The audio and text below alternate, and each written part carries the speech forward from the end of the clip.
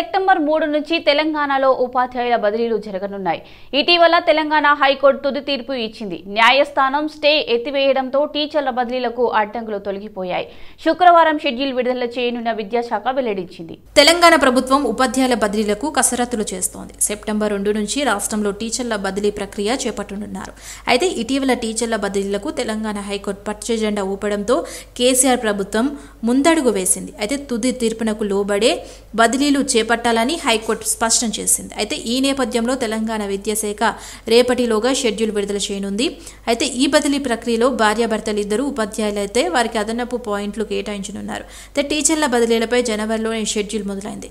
High court stay ఇవ్వడంతో ఇన్నాళ్ళు జాప్యం జరిగింది. అయితే ఇటీవల న్యాయస్థానం స్టే ఎత్తివేయడంతో బదిలీలకు అవరోధాలు తొలగిపోయాయి. మాది స్లోగన్ సర్కార్ కాదు సొల్యూషన్ సర్కార్ మంత్రి హరీష్ రావు అన్నారు. కాంగ్రెస్ బీజేపీలు కేవలం నినాదాలు పార్టీలు బీఆర్ఎస్లు మాత్రమే నినాదాలను నిజం చేసే పార్టీ అని అన్నారు. నీమ్స్ ఆసుపత్రిలో ఏర్పాటు చేసిన ఆయుష్ ఇంటిగ్రేటెడ్ వెల్సెన్ సెంటర్ని ప్రారంభించారు మంత్రి హరీష్ రావు. ఆయుష్ హెల్త్ అండ్ వెల్సెన్ సెంటర్ను ప్రతిష్టాత్మకమైన నిమ్స్ ఆసుపత్రిలో ప్రారంభించుకోవడం సంతోషంగా ఉందన్నారు. నకిలీ హామీలు చేష్టలతో మీరు తెలంగాణ ప్రజల్ని నమ్మించలేరు. మొన్ననే టూరిస్టులాగా ఇద్దరు వచ్చిపోయిండ్రు ఒక అమిత్ షా గారు వచ్చిపోయిండ్రు తర్వాత ఖాడ్గే గారు టూరిస్టులాగా ఈ రాష్ట్రానికి వచ్చి ఈ లోకల్ నాయకులు రాసిచ్చిన స్క్రిప్ట్ చదివిపోయినారు. రాష్ట్రం మీద వాళ్ళకి అవగాహన లేదు. ఎవరైనా ఈ రాష్ట్రం మీద ఆరోపణలు చేసే ముందు మీ మీ రాష్ట్రాల్లో ఇంతకంటే మెరుగైనటువంటి పాలన అందిస్తే మీరు మాట్లాడండి.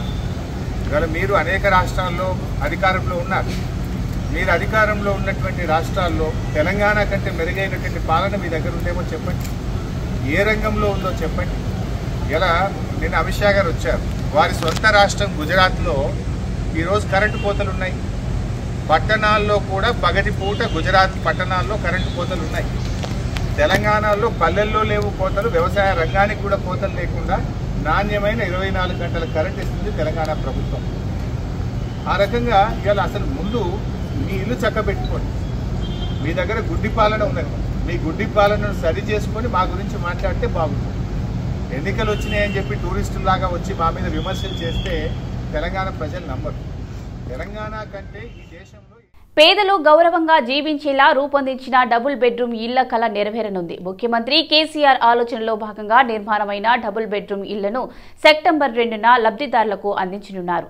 జెహెచ్ఎంసీ పరిధిలో ఇరవై నాలుగు నియోజకవర్గాల్లో పదకొండు వేల ఏడు వందల మంది లబ్ధిదారులకు డిగ్నిటీ డబుల్ బెడ్రూమ్ల ఇళ్ళ పంపిణీ చేసేందుకు అన్ని ఏర్పాట్లు పూర్తి చేశారు.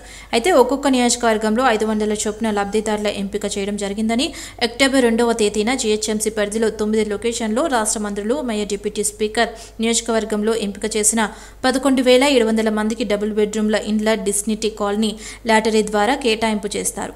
అయితే కుత్బులాపూర్ నియోజకవర్గంలోని బహదూర్పల్లిలో జరిగే పంపిణీ కార్యక్రమంలో గాజుల రామారం బహదూర్పల్లి డి పోచంపల్లి మొత్తం పదిహేడు వందల గృహాలు లబ్ధిదారులకు పంపిణీ చేస్తారు మంత్రి కేటీఆర్. ఇక అందులో గాజుల రామారంలోని నిర్మించిన నూట నలభై నాలుగు ఇండ్లను బహదూర్పల్లిలో నిర్మించిన మూడు వందల యాభై ఆరు గృహాలు కుత్బుల్లాపూర్ నియోజకవర్గంలో మొత్తం ఐదు వందల మందికి పంపిణీ చేస్తారు. బీఆర్ఎస్ అసంతృప్త నేత మాజీ మంత్రి తుమ్మల నాగేశ్వరరావు త్వరలో కాంగ్రెస్ పార్టీ తీర్థం పుచ్చుకోనున్నారు. కాంగ్రెస్ పార్టీలోకి రావాలని ఆ పార్టీ నేతలు తుమ్మలను ఆహ్వానించారు. తుమ్మలతో టీపీసీసీ చీఫ్ రేవంత్ రెడ్డి సుదర్శన్ రెడ్డి మల్లు రవిలు భేటీ అయ్యారు. ఈ సందర్భంగా తుమ్మలను కాంగ్రెస్ పార్టీలోకి రావాలని ఆహ్వానించారు.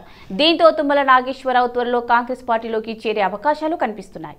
మాజీ మంత్రి తుమ్మల నాగేశ్వరరావుతో టీపీసీసీ చీఫ్ రేవంత్ రెడ్డి భేటీ అయ్యారు. ఈ సందర్భంగా తుమ్మలను రేవంత్ పార్టీలోకి ఆహ్వానించారు. బీఆర్ఎస్ నుంచి పాలేరు టికెట్ ఆశించి బంకపడ్డ తుమ్మల కాంగ్రెస్లోకి వెళ్తారంటూ జోరుగా ప్రచారం నడుస్తుంది. ఈ క్రమంలో వీరి భేటీ ఆసక్తికరంగా మారింది.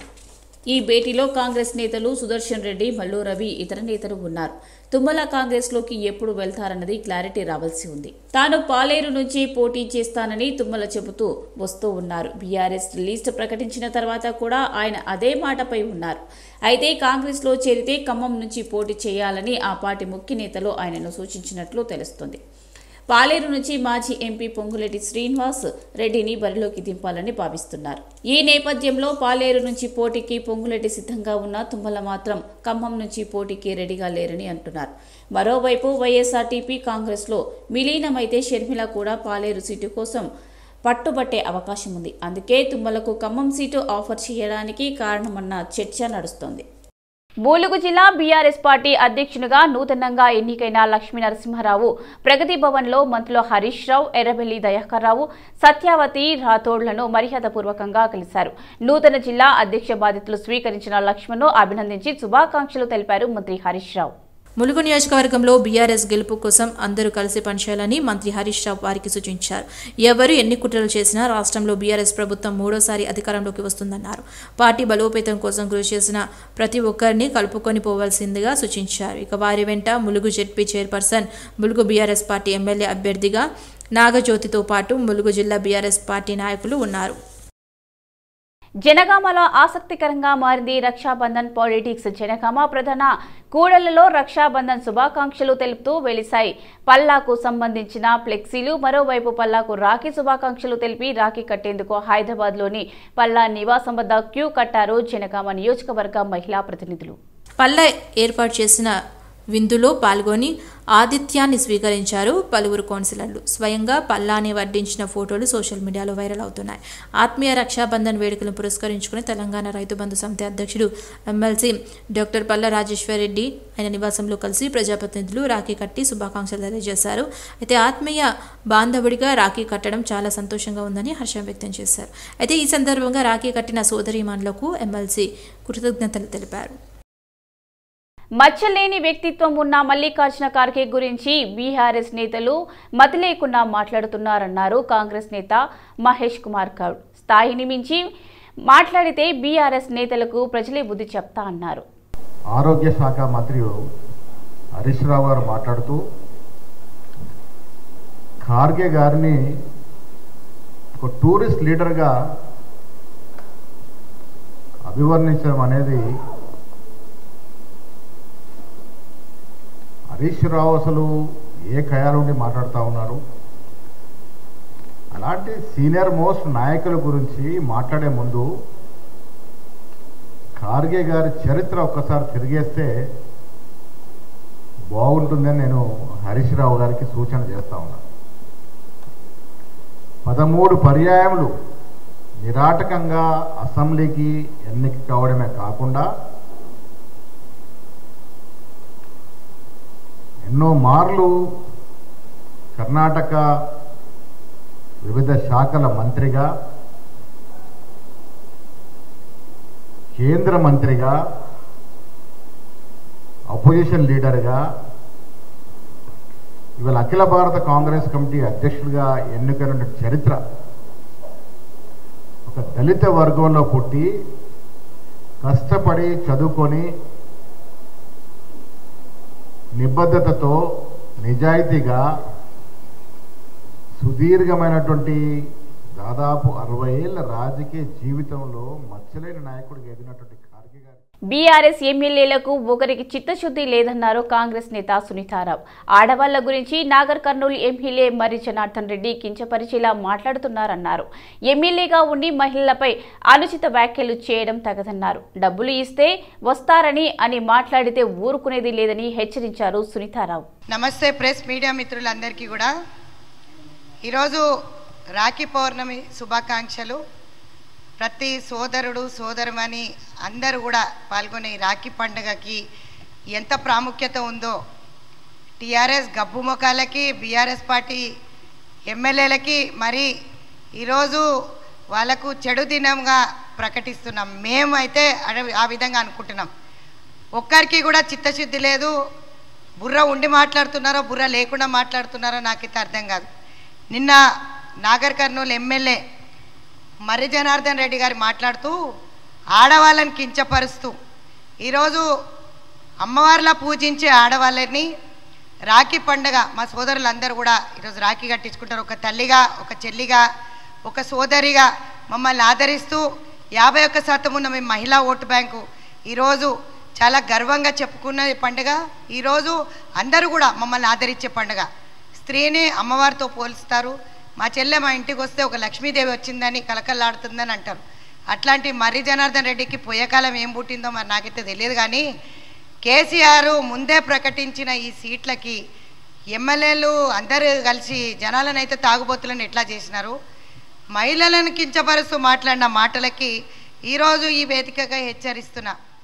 ఎందుకంటే ఏం మాట్లాడతాడండి? వెంగళరావు నగర్లో Indian institute of health and family welfare చైర్మన్గా డాక్టర్ మధుశేఖర్ బాధ్యతలు చేపట్టారు. కార్యక్రమంలో మంత్రులు హరీష్ రావు వేముల ప్రశాంత్ రెడ్డి ప్రజాప్రతినిధులు పాల్గొన్నారు. తెలంగాణ రాష్ట్రాన్ని సాధించి సకల జనుల సమ్మేళనంతో సబ్బన్న వర్గాల భాగస్వామ్యంతో ఒక ఉద్యమ పుంతాను రాజకీయ పార్టీ ద్వారా టీఆర్ఎస్ పార్టీ ద్వారా సాధించినటువంటి గౌరవనీయులు పెద్దలు కేసీఆర్ గారు రాష్ట్ర సాధన తర్వాత గడిచిన తొమ్మిది సంవత్సరాల్లో బంగారు తెలంగాణ అనే ఆశయంతో అన్ని వర్గాలకి న్యాయం చేస్తూ ప్రజల సంక్షేమాన్ని రాష్ట్ర అభివృద్ధిని సమపాలలో ముందుకు తీసుకెళ్తున్న తరుణంలో ఆయన ఆశీర్వాదంతో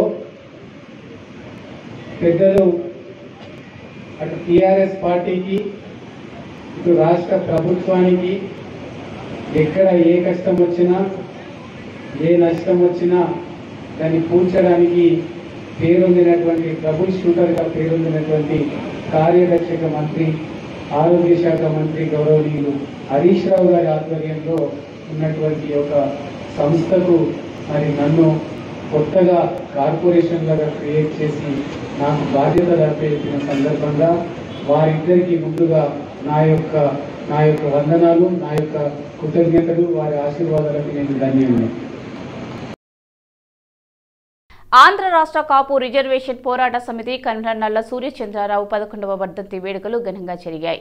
జై ఆంధ్ర ఉద్యమకారుడు కోనసీమ నాయకుడు కాపు రిజర్వేషన్ పోరాట సమితి రాష్ట్ర కన్వీనర్ కాపు రత్న స్వర్గీయ నల్ల సూర్యచంద్రారావు పదకొండవ వర్ధంతి సందర్భంగా హైదరాబాద్ కుక్కట్పల్లి నియోజకవర్గం మూసాపేటలోని శ్రీ సత్యసాయి సేవా సంఘ్ విద్యార్థులకు అన్నదాన కార్యక్రమాన్ని ఆయన అభిమానులు కుటుంబ సభ్యులు నిర్వహించారు. జయాంధ్ర ఉద్యమంలో కీలక పాత్ర పోషించిన నల్ల సూర్య చంద్రరావు కోనసీమ జిల్లాలో ఆయనను కాపు రత్నంగా పిలుస్తారని అభిమానులు అన్నారు. వారిని స్ఫూర్తిగా తీసుకుంటూ ప్రతి సంవత్సరం ఆయనను స్మరించుకుంటూ ఇలా సేవా కార్యక్రమాలు చేస్తూ ఉంటామన్నారు. ఇలా శ్రీ నల్లసూర్య సూర్యచంద్రరావు గారి పదకొండవ వర్ధంతి పురస్కరించుకుని ఈరోజు మోసాపేటలో మనం శ్రీ సత్యసాయి సేవా సంఘం వికలాంగుల అనాథ బాలికలకి కొంచెం మనం అన్నదాన కార్యక్రమం చేసామండి అలాగే మన అమలాపురంలో కూడా ఈరోజు చాలా భారీ సంఖ్యలో అనాథ అన్నదాన కార్యక్రమాలు అలాగే పళ్ళు పంచిపెట్టాలు అవన్నీ కూడా కార్యక్రమాలు చేసాం సేవా సేవా కార్యక్రమాలు చేసామండి ప్రతి సంవత్సరం జయంతి వర్ధంతి హైదరాబాద్లో కూడా ఈ సంవత్సరం మనం వర్ధంతి కార్యక్రమం మొదలుపెట్టామండి. ఇదే విధంగా మేము ప్రతి సంవత్సరం ఇదే పది సేవా కార్యక్రమాలు మేము చేయబోతున్నాం. జయాంధ్ర ఉద్యమకారుడు బడుగు బలహీన వర్గాల ఆశాజ్యోతి కాపు రిజర్వేషన్ పోరాట సమితి రాష్ట్ర కన్వీనర్ కాపురత్న స్వర్గీయ శ్రీ నల్లా సూర్యచంద్రరావు గారి ప పదకొండవ వర్ధంతి పురస్కరించుకుని ఈరోజు మన హైదరాబాద్ మూసాపేటలో ఉన్న సాయి సేవా సంఘ ఆధ్వర్యంలో నడిపించబడుతున్న అనాథ సన్నాలయంలో ఈరోజు అన్నదాన కార్యక్రమం నిర్వహించడం జరిగింది. అలాగే కొన్ని పలు సాంస్కృతిక కార్యక్రమాలు అవి జరిగినాయండి. ఈరో ఈ ఈ ఈ ఈ సందర్భంగా మా నల్లా సూర్యచంద్ర గారికి ఘనంగా మేము నివాళులు అర్పించుకుంటున్నామని మంత్రి సింగిరెడ్డి నిరంజన్ రెడ్డి అమెరికాలో పర్యటిస్తున్నారు. పరిశోధనా రంగంలో యుఎస్ డిపార్ట్మెంట్ ఆఫ్ అగ్రికల్చర్ సహకారం అందిస్తున్నామన్నారు. మంత్రి నిరంజన్ రెడ్డి తెలంగాణ రైతాంగం అధునాతన సాంకేతాలను అందిపుచ్చుకోవాలన్నదే మా ఆకాంక్ష అని వెల్లడించారు. భావితరాలు వ్యవసాయ వ్యవసాయ అనుబంధ రంగాల్లో పెట్టుబడులు పెట్టేలా చూసుకునే బాధ్యత మనపై ఉందన్నారు. IT farm economics seed technology post harvest management marketing emerging technology new year planting tech తదితర రంగాల్లో కలిసి పనిచేసే అవకాశాల గురించి మూడో రోజు పర్యటనలో యుఎస్డిఏ ప్రతినిధులతో మంత్రి బృందం చర్చలు జరిపింది. అయితే ముఖ్యమంత్రి కేసీఆర్ సారథ్యంలో తొమ్మిదేళ్ళలో తెలంగాణ వ్యవసాయం గణనీయమైన పురోగతి సాధించిందన్నారు. ఇక ఉపాధి కల్పనలో వ్యవసాయ దాని అనుబంధ రంగాల పాత్ర ముఖ్యమంత్రి కేసీఆర్కు తెలుసునని అందుకే వ్యవసాయ అనుకూల విధానాలకు పెద్దపీట వేసి రైతులను ప్రోత్సహిస్తున్నామన్నారు. సమైక్య పాలనలో సంక్షోభంలో ఉన్న వ్యవసాయం తెలంగాణ రాష్ట్రంలో సంబరంగా మారిందన్నారు.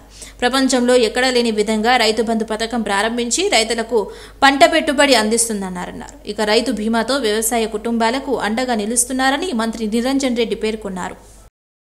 ఏబీవీపీ నాయకులు విద్యార్థులపై దాడి చేసిన శ్రీనిధి యాజమాన్యం కేసులు నమోదు చేయాలని ఆందోళన నిర్వహించారు. మేడ్చల్ జిల్లా Pocharam IT corridor police station పరిధి శ్రీనిధి కళాశాలలో విద్యార్థులను ఇబ్బంది పెడుతున్న యాజమాన్యంపై చర్యలు తీసుకోవాలని డిమాండ్ చేశారు. శ్రీనిధి యూనివర్సిటీ దగ్గర శ్రీనిధి కాలేజ్ దగ్గరికి వెళ్ళడం జరిగింది. అక్కడ సెక్యూరిటీ గార్డు పిల్లలని వాళ్ళు కాలేజ్కి రాక అక్కడ ఇక్కడ తిరిగిరని గలీజ్గా మాట్లాడేసరికి నీకు ఎంత ఉంటుంది తెలుసా అటెండెన్స్ పర్సెంటేజ్ అని నేను సెక్యూరిటీని అడగడం జరిగింది.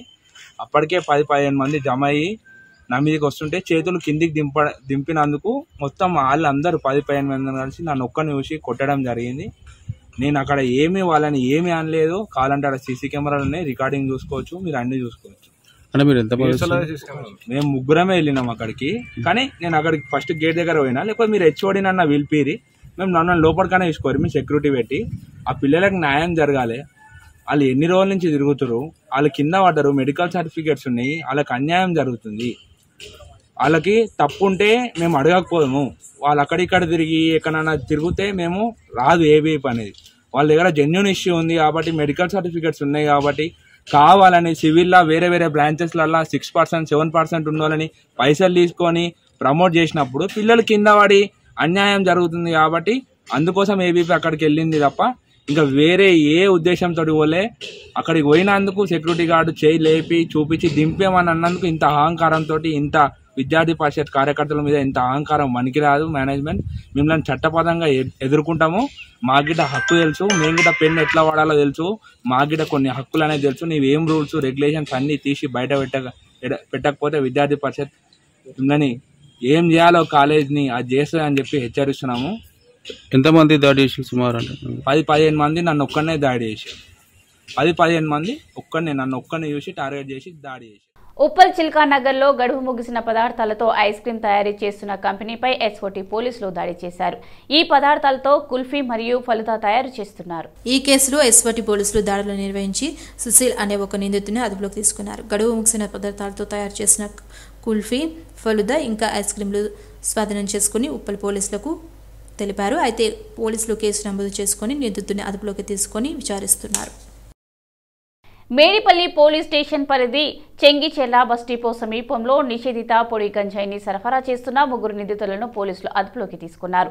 నిందితుల నుండి రెండు పాయింట్ ఆరు కిలోల పొడి గంజాయి మూడు సెల్ ఫోన్లు పోలీసులు స్వాధీనపరుచుకున్నారు. కుంచె మణికంఠ శ్రీధర్ సాయి కుమార్ అనే ముగ్గురు వ్యక్తులను అరెస్టు చేసిన పోలీసులు కేసు నమోదు చేశారు. ఇక మల్కాజ్గిరి ఎస్ఓటి పోలీసులు. ఇక రమేష్ అనే మరో వ్యక్తి పరారులో ఉన్నట్లు తెలిపారు.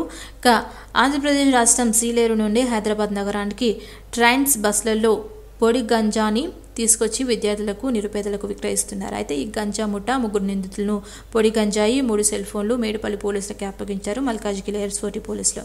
అయితే నిందితులపై కేసు నమోదు చేసి రిమాండ్కు తరలించిన మేడిపల్లి పోలీసులు విచారణ చేస్తున్నారు. సెప్టెంబర్ పద్దెనిమిది నుంచి పార్లమెంటు ప్రత్యేక సమావేశాలు జరగనున్నాయి. వచ్చే నెలలో ఐదు రోజుల పాటు పార్లమెంటు ప్రత్యేక సమావేశాలు నిర్వహిస్తున్నారు. అమృతకాల గడియల్లో సమావేశాలు ఏర్పాటు చేసినట్లు కేంద్రం వెల్లడించింది. ఇటీవలే పార్లమెంటు వర్షాకాల సమావేశాలు ముగిశాయి. వచ్చే నెలలో ఐదు రోజుల పాటు పార్లమెంట్ ప్రత్యేక సమావేశాలు నిర్వహించాలని కేంద్రం నిర్ణయించింది.